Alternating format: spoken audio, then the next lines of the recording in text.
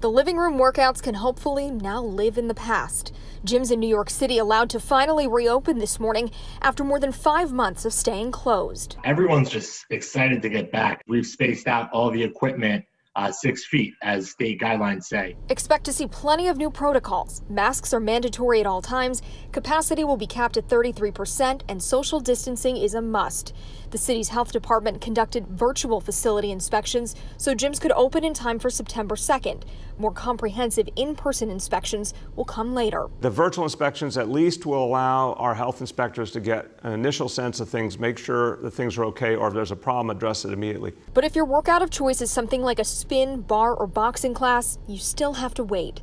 Indoor fitness classes remain off limits, keeping a lot of boutique fitness businesses closed and confused. Their argument is your indoor classes are not allowed. But tell me why a treadmill six feet away from each other and two people running side by side six feet away is okay?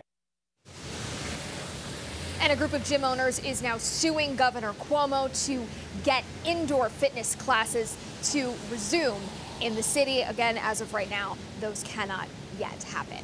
Live this morning in the East Village, I'm Katie Corrado, Pix 11 News.